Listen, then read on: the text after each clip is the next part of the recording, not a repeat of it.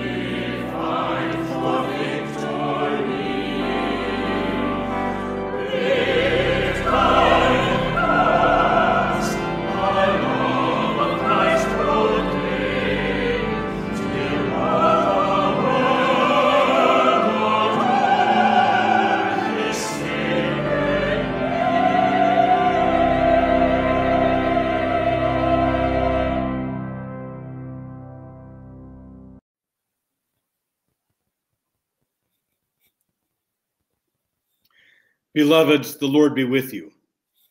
And also with you. Let us pray. Almighty Father, whose dear Son, on the night before he suffered, instituted the sacrament of his body and blood, mercifully grant that we may receive it thankfully in remembrance of Jesus Christ our Lord, who in these holy mysteries gives us a pledge of eternal life, and who now lives and reigns with you and the Holy Spirit one God, forever and ever. Amen.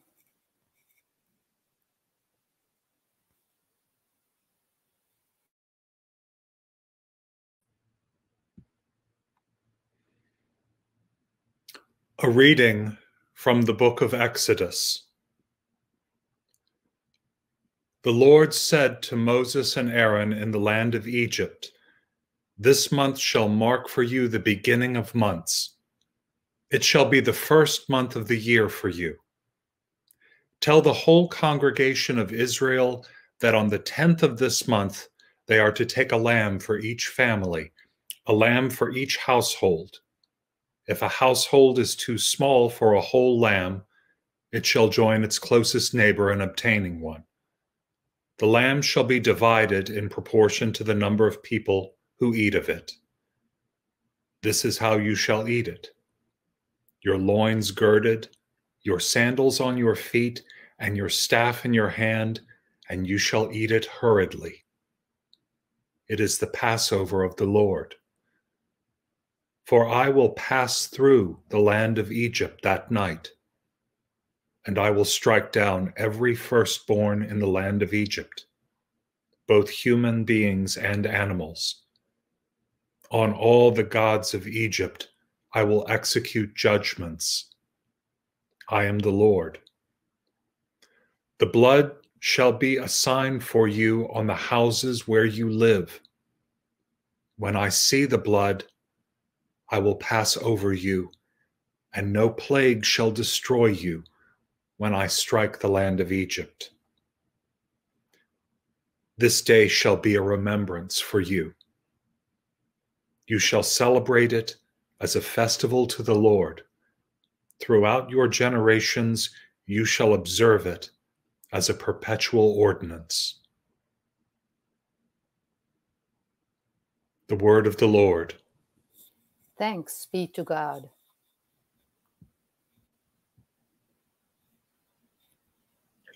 I love the Lord because he has heard the voice of my supplication. Because he has inclined his ear to me whenever I called upon him. How shall I repay the Lord? For all the good things he has done for me. I will lift up the cup of salvation and call upon the name of the Lord. I will fulfill my vows to the Lord. In the presence of all his people. Precious in the sight of the Lord is the death of his servants. O Lord, I am your servant. I am your servant and the child of your handmaid. You have freed me from my bonds. I will offer you the sacrifice of thanksgiving and call upon the name of the Lord. I will fulfill my vows to the Lord in the presence of all his people, in the courts of the Lord's house, in the midst of you, O Jerusalem.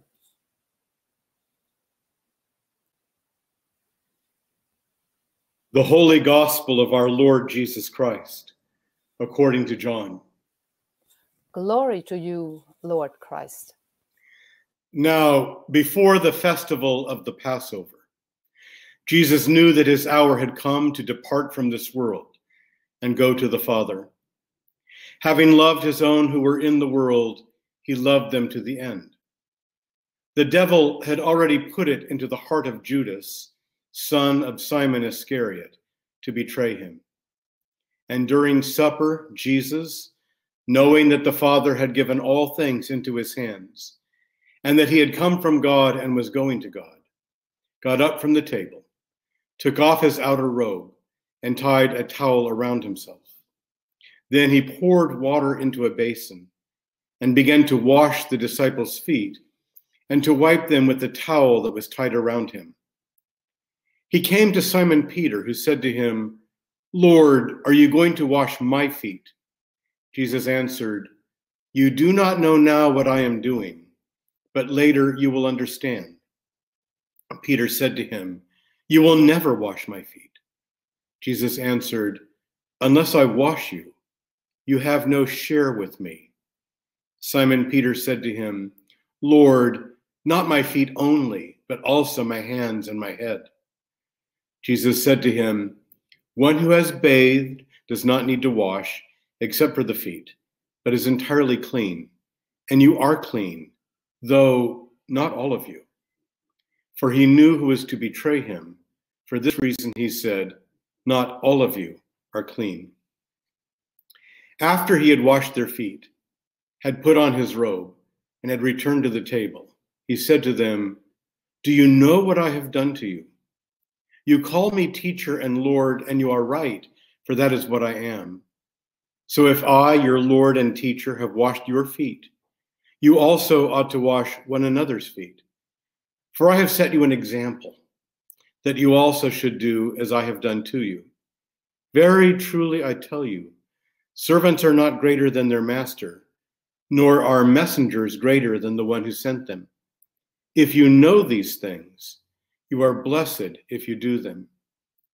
Now the Son of Man has been glorified and God has been glorified in him.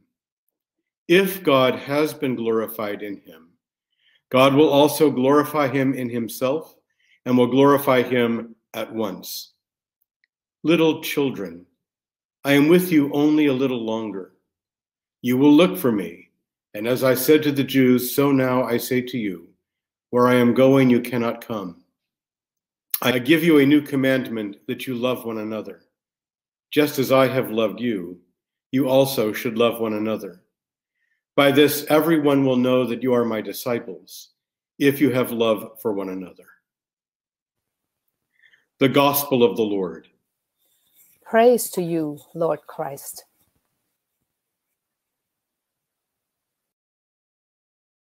Tonight is a night of commandment. Maundy Thursday. The word Maundy comes from the Latin mandatum, meaning commandment. But what kind of commandment is this? Not a stern order, but a loving teaching that we should serve and love one another as Jesus served and loved his disciples. But what a strange Maundy Thursday we're observing this year. On perhaps what is one of the most embodied, most fleshly, the most incarnational liturgies of the entire Christian year, we would normally expect to come forward and not just give a polite Episcopalian handshake at the greetings of the peace, much less an elbow bump, but to actually touch and hold and gently bathe and wipe dry the feet of another person. Sometimes someone we may know, sometimes a complete stranger. But this year, due to COVID restrictions, we're remembering this humble act of Jesus not by reenacting it, but virtually by hearing the story once again and perhaps by remembering moments of foot washing in years past, or imagining future years in which we can take up this ancient practice of kindness, of intimate cleansing touch once more. Some years ago, my spouse Michael and I happened to be on the big island of Hawaii during Holy Week. And I vividly remember attending a Maundy Thursday service in a very small wood beamed Episcopal church. I remember falling in line in the center aisle barefoot and walking up to the altar and washing the feet of someone I had never met and probably never would meet again, and then being seated to be washed by another. And in that small but faith saturated church, I felt the sheer simplicity and the sheer loving kindness of this liturgy in a way I never had before. Maybe some of you have similar memories of a Maundy Thursday foot washing that especially touched you when the physicality and care enacted in this ritual reenacted the humility of Jesus and the vulnerability of Peter in the most personal way possible. And then there is the Last Supper, which we also remember tonight. And again, we can't share together in person, in community, but we remember in the retelling of the story of Jesus' own Last Supper and in a certain hope and expectation that soon we can participate in this meal together again in the flesh. In another particular way tonight, we remember Jesus' Last Supper as the Jewish Passover meal, the Seder, which our Jewish siblings observed last Saturday evening and continue to observe throughout this week. Jesus and his disciples, as faithful Jews, also came together in faithfulness to the ancient commandment we heard in tonight's reading from Exodus This day shall be a day of remembrance for you. You shall celebrate it as a festival to the Lord. So, our remembrance of Jesus and the gospel message of love and service is layered upon an even more ancient remembrance of God's liberation of the Israelites from slavery into freedom. This layering is key to tonight's observances. Through his actions of kneeling, washing, and sharing a meal with his disciples, Jesus was saying, This is what liberation means. If you want to be free, you must serve, you must love. This is the paradoxical command at the heart of the gospel that our greatest freedom, even our greatest victory in life, will be found not in striving for success or wealth or even for perfection, but in tenderness and humility. Humility. This is why we engage in Lenten practices of self denial and contemplation. One of the Lenten practices that always somehow finds me is to reread some books that are old friends. And one that I come back to every Lenten season is a lovely, gentle book by my friend Philip Bennett, an Episcopal priest in Philadelphia, who is both a psychoanalyst and a spiritual director. The book is entitled Let Yourself Be Loved. It's all about practicing the presence of God, the awareness that God loves and delights in us and wants to be with us, just as we would want to be with someone we're in love with. Regarding humility specifically, Philip writes, Our English word humility is linked to the root word humus, meaning earth, ground. It means being planted in the ground of our being, knowing ourselves to be rooted in our creaturehood, needing first to receive love before we can give it. That is perhaps why Jesus, in his wisdom, knew that he had to wash Peter's feet. And if Peter refused to receive this love, he would never truly have a part in the life of the risen Christ. Philip continues Unfortunately, certain misguided religious teachings have given us a shame based idea of humility. Humility becomes linked with a sense of shame, while a healthy love of self is confused with self absorption and self centeredness. Yet the opposite is the case. The more we are able to love and respect ourselves as a gift from God, the more we are able to love others. And so tonight we are invited, yes, commanded, to practice humility to practice humility in its original meaning, to remember that we are grounded in the earth. As we heard at the very beginning of Lent, we are dust, and to dust we shall return. But also, we are grounded in the soil of God's pleasure and love for us. It is precisely in and through that awareness that we are invited to reach out in love and service toward others. We can't physically wash one another's feet tonight, but in a few moments, we will observe a related ritual that also expresses our commitment to service, to care, and yes, even care for the feet of others. During the season of Lent, members of our worshiping community contributed over $7,500 through $40 donations for the 40 days of Lent to purchase socks and sneakers to be distributed through our Cathedral Community Cares. So we may not wash one another's feet tonight, but we will clothe and care for the often weary and worn feet of others whose need is greatest among us. And we ourselves, however good and giving we want to be, we also have needs, especially in this seemingly never ending time of the twin pandemics of COVID and of anti Black and anti Asian racial violence. We are sick and tired of living in fear and the ever present specter of racism. We are sick and tired of confinement, isolation, restrictions, and masks. Even as more vaccines thankfully become available in this city, we are so eager for that light at the end of the tunnel that many of us are itching to cut loose too soon. And our city is already seeing a spike in cases again. We cry, How long, O Lord? And we long for safety, for touch, for justice, for communion. Jesus told his disciples, Just as I have loved you, you should also love one another.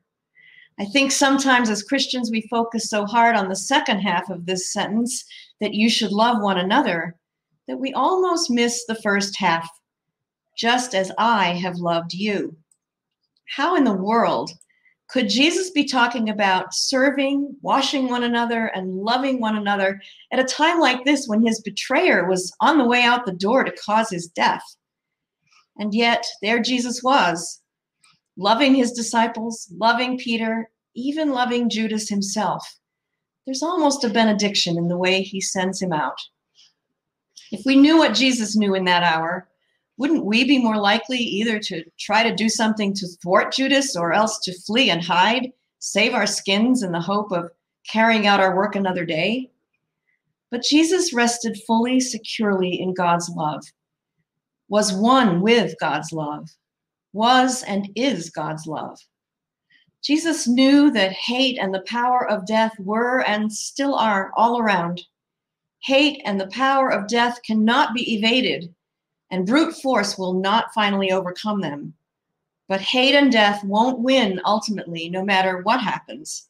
If we remain grounded, humble, planted firmly in the soil of God's love and the power of the knowledge that we are loved, known by God intimately, sought out and upheld by God's undying love for us.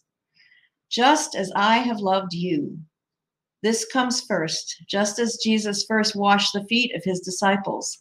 All our strength and all our own loving flows first from this source, this assurance that we, you and me and everyone in this city and in this world, are all God's beloved. Peter protests at first when Jesus comes to him with that towel and basin. What was Peter's resistance? You will never wash my feet. Was it a feeling of unworthiness? Perhaps even a fear of letting himself be loved so intimately by Jesus?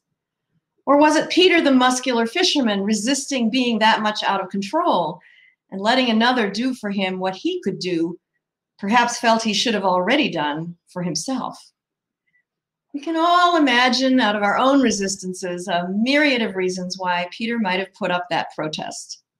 How often do we let our own inner fears or some secret sense of shame, some dust on us that we fear can never be washed away, or even our own need for control get in the way of opening ourselves up freely to the love of God and other people?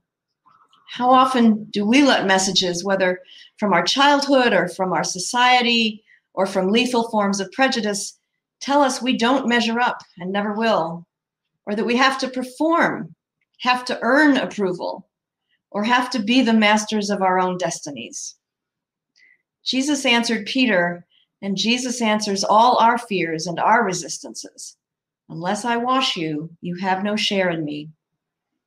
No matter how much we profess our faith, no matter what we do, no matter how compulsively we do it, we won't understand what Jesus is truly offering Peter and all of us unless we allow God to serve us, unless we open ourselves up maybe just the tiniest crack in our defenses to allow the possibility that God really does delight in us and longs to be with us and simply to love us, not for anything we have done, but because we exist. And our existence is a delight to God. It is in this opening to God's love and delight that we will find the true source of our capacity to love and to delight in and serve one another as God's own hands in the world. When we begin to experience this love, even in this time of COVID restrictions and in the midst of heightened anxieties of all kinds, when we experience this love through prayer, through music, through nature, even through simply practicing our daily routines and tasks with an intent of mindfulness toward God, we begin to discover that we are in a dance of mutual love with God. Just six days before this Last Supper, according to John, Mary of Bethany, the sister of Martha and Lazarus, anointed Jesus' feet with perfume, foreshadowing the anointing of his body in death, and wiped them with her hair. In the story of that earlier supper, six days before, it is Judas himself who protests the extravagance of her gift and her loving service. Mary enacted God's love in anointing Jesus in that moment the memory of that recent intimate washing of his feet with perfume, as well as Judas's rebuke, must have echoed in Jesus' mind when he took up a towel and approached Peter's feet. Mary had in turn been empowered and emboldened by her recognition of God's amazing love through the raising of her brother Lazarus from the dead just a short time before. So, the story we enter into tonight is cradled in an amazing way by two resurrections Lazarus and Jesus, and three washings or anointings Mary's anointing of Jesus, Jesus' washing of Peter, and then the women's washing of Jesus and anointing again at his tomb. The mystery and the perfume of washing, healing, and new life is all around us tonight, both past and future. So come, enter into the mystery of this crucial turning point in the history. As Jesus looks backward in reverent remembrance of the Passover liberation of God's people and God's love expressed through the raising of his beloved friend, expressed through perfume, washing, and meal. And now, as Judas leaves and walks out into the night, Jesus looks ahead to the unfolding of the nightmarish events yet to come. But in reverse order, leaving the meal, he dies in agony, but then is washed and anointed by the beloved community of women, and finally is raised again to a new life into which he brings us all. It's a circle dance of serving and being served, loving and being loved. It's fitting then that as we grow in God's love for us, we also grow in our capacity to love and serve until that time when we all share the banquet, all social distance removed once and for all to feast at the heavenly table. By these commandments, Jesus' commandments, to serve, to remember, and to love, we are not bound but freed. Thanks be to God. Amen.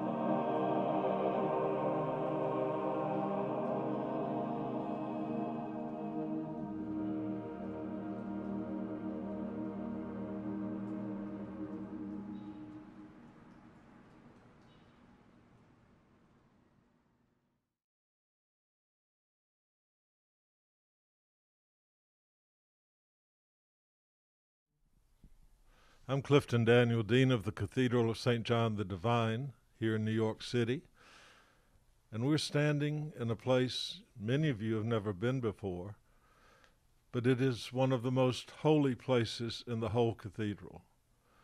This is the home of the Cathedral Community Cares, CCC. The great canons of St. John Divine gathered together to help us out with some issues that we had. Um, the issue is with getting uh, donation, donated clothing, sneakers, shoes, socks, and other items. We have people come from Brooklyn, the Bronx, Staten Island on Sunday mornings just to get something because there was at one point in the beginning of COVID, we literally were the only people open. The clothing closet alone, I believe we were averaging every Sunday 145 people, as Robert was serving over 700 people. I was always taught by my grandmother that you should eat something that anybody that you would eat that they should eat. So we all are equal. So we all got to eat the same thing. So I was always taught that. When the pandemic first started, uh, we began to hear that there were people coming here in search of food who were not the people that you'd think would be coming here in search of food. Yes. And we began to hear that there were people who could afford either a place to live or something to eat. And so I think what I've discovered more than anything else in coming here is that the kind of person you expect to see at a, in a soup kitchen is not necessarily the kind of person who comes here now. And there's a lot of need that's hidden in New York. In the beginning of COVID, we opened it every week to everybody. And the impact was really felt because they cleaned us out. Mm-hmm. And that's why every week we were asking the media team to put, we need, we need, we need. And to this community's credit, they gave, they gave, they gave. Mm. When people come here, they don't necessarily want to be here. And that's a misconception. You know, it's Manhattan. If it's free, it's for me. No. They don't really want to be here. They have no choice to be here. Nothing, sorry, nothing is more impactful to see somebody come through that door, one barefoot and a plastic bag around another. It's so impactful to see a mother with three children standing online for Robert's food. Not only the hot food that he makes, but he also makes two types of cold sandwiches. So they're down there prepping like crazy in, on Sunday. Terry, it's the 21st century. Everybody deserves a roof over their head, something hot in their stomach, and a place to go when they're sick. And CCC, we're giving you two out of three. Mm. So we're very proud of that. So I, I actually started to come to CCC to help out, not to show up as a clergy person, but to help out with making food because a friend of mine, who really is not a churchy person at all, a baptized person, but not a churchy person at all, he wanted to do it. Mm. And I think I think what that taught me is that, you know, Jesus continues his ministry in all kinds of people. And some of those people are church people like us, and I don't mean like people like collar people, but people who go to church. But Jesus uses all kinds of people so his work in the world can continue. And I think that um, I think that's also a very humbling thing to realize that we in the church don't have the monopoly on Jesus' ministry in the world at all. Yeah, I like to say that we practice what everybody else preaches. We put the word out that we're looking for slightly used clothing. Our definition of slightly used could be different from other people. and to be honest, you get the best and sometimes you get the worst. Mm-hmm. But the opportunity to give someone something that's brand new mm-hmm. is a game changer. The two biggest things that are asked for are always socks, always sneakers, and always undergarments. Those are the three top things. We also wanted to thank the Bombas Group. Uh, Bombas has been supporting us with uh, donated socks for like the last, I want to say, a year. We received about over 5,000 pair of free socks. Uh, this year we're, we're close to 10,000 we're going to receive, and they're starting uh, underwear. So we're going to see how that plays out. Uh, but today we definitely wanted to thank the Canons for coming by because they knew that we had a need and they helped us with it. Uh, they raised about 7,500, to 7,500, which is actually pretty good. it's very good. It's very impressive. This is going to put a lot of smiles on a lot of faces as we start to go through the season, without a doubt. I just want to thank uh, Thomas, Vanessa, and Robert uh, for this beautiful witness. There's um, a question people in church circles often ask if your church wasn't here, would anyone miss it? And I think in the case of the congregation, um, it's actually kind of an open question. I mean, the cathedral's been here for 125 years, congregation about 29. And so the cathedral has been able to do liturgy services without a congregation for the first hundred years of its existence. So I don't think the cathedral's Sunday services would miss a congregation. And certainly people in the congregation would miss each other and the lunches that we serve to one another. But would the community really miss us? I don't think so, compared to would the community miss CCC? Absolutely. And so I just want to thank all of you for showing the congregation how to be church. Because church ultimately exists not for the members there, but for the members or the people who are not yet part of that community. That's what church is for. It's for the members to serve the people who are not yet part of that community. And I just, it's just profoundly moving that you are doing this work and that we in the congregation are now starting to slowly do that work with you. Thank you for allowing us to partner with you, you. and to Thank teach you. us how to be church.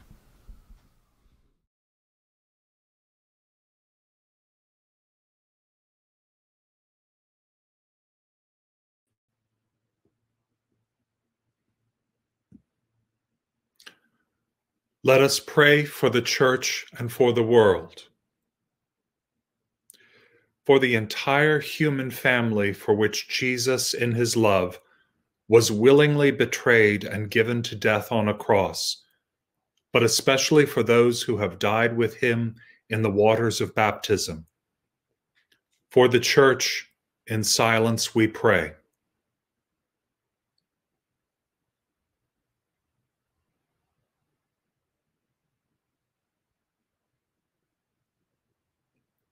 For Andrew, chosen by God as our bishop and for Allen and Mary who assist him in his ministry, and for all who serve us who have been called to serve the world in Jesus' name, in silence we pray.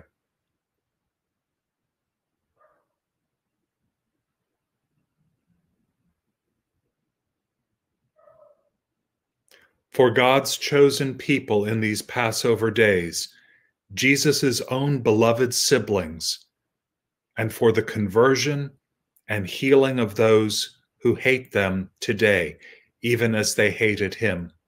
In silence we pray.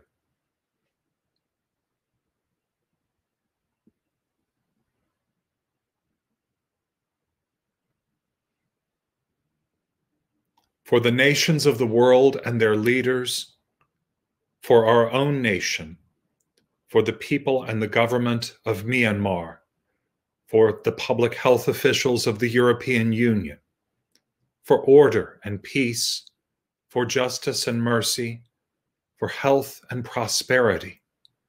In silence we pray.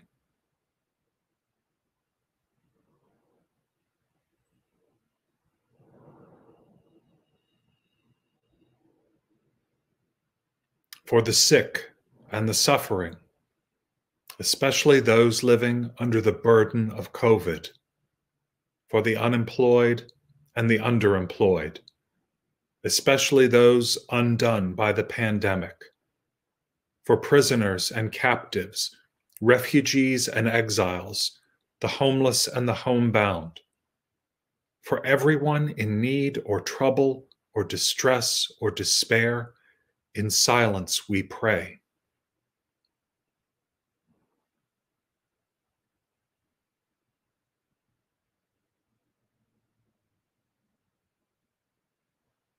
for the dead, especially those who died since we last celebrated the Paschal days. And for others we miss and mourn. We see them and we name them, and in silence we pray.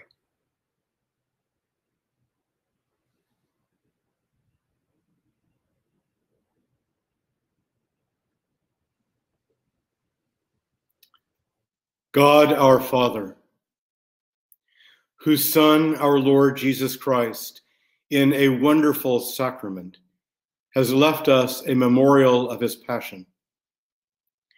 Grant us so to venerate the sacred mysteries of his body and blood, that we may ever perceive within ourselves the fruit of his redemption, who lives and reigns with you and the Holy Spirit, one God forever and ever. Amen.